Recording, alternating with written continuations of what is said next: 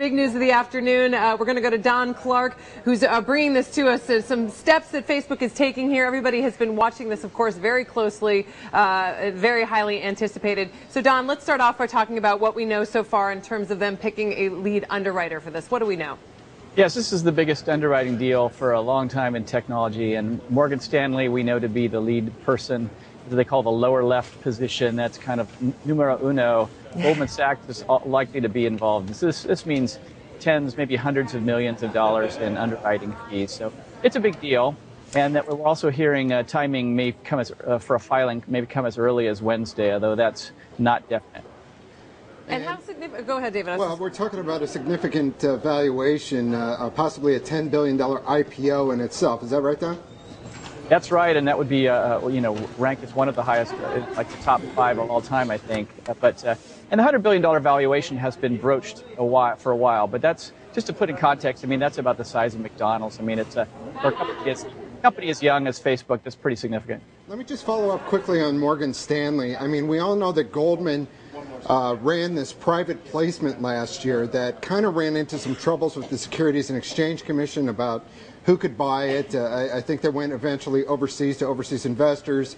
Did Goldman, you think, get a snub here? Is are, are they on the outside? I mean, they're going to have a significant role, but as you point out, Don, that lead left spot is the spot that everybody keys on. Well, it's, it's they're all they're you know one, one and two in a lot of uh, uh, rankings already all the time, so they're used to competing dog you know tooth by jowl for all these kinds of deals. So I don't think it was particularly a snub. I think you kind of just had to pick one, and Morgan uh, must have impressed the Facebook guys a bit more. Okay. And why? And I'm, to both of you, I guess. Why do you think now is the right time uh, for this? I mean, obviously it's been anticipated, but you know, wh why do we think the, the, wheels are in motion right now? And when you know, I think it's a league of its own. What do you think, Don? I think so too. You know, they have uh, various pressures. By April, they have to do something because otherwise they're going to have to start reporting their numbers anyway. So everybody kind of thinks it's going to happen this year. It's just become a question of when. One of the things is, of course, the conditions in the market. It's been going up and down, but it's a little more positive than it was, you know, a month or so ago. Uh, there's also, on the other hand, there's been mixed signals with the reception to IPOs like LinkedIn, Groupon. So, you know, it, it's not the greatest time to go public, but it's pretty good for them. Yeah, and I think it'll also be interesting uh, as we get closer, and, and, tell me if there's any indication from Facebook on this about where they're going to list. Is it going to be a NASDAQ company? Is it going to be a New York Stock Exchange listing? Obviously, those two are still very competitive, and, you know, any word on what the ticker might be?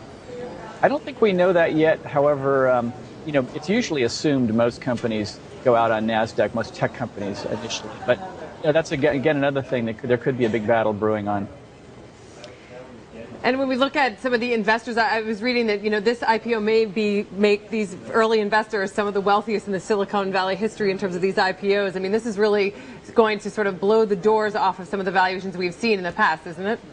That's right, and, and um, you know we have another story running tonight about the venture capital firms that have. Uh, been putting money in, and they, they, they, you know, for relatively small amounts of money, they're going to make a lot, and uh, you know, like thousand-fold return kind of things.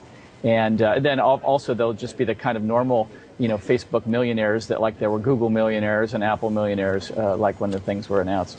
Sometimes yeah. these things can uh, create problems inside companies because all of a sudden, who's the billionaire, who's the millionaire, and uh, we'll see. We'll see if it has an effect on on uh, how Facebook does its business. Yeah. All right, Don. Thank you so much for joining sure. us. Here, David, I want to know what the Winklevi will be worth after this. well, really they've, got, we they've got, those pickle commercials or whatever, right? Pistachio. Pistachio.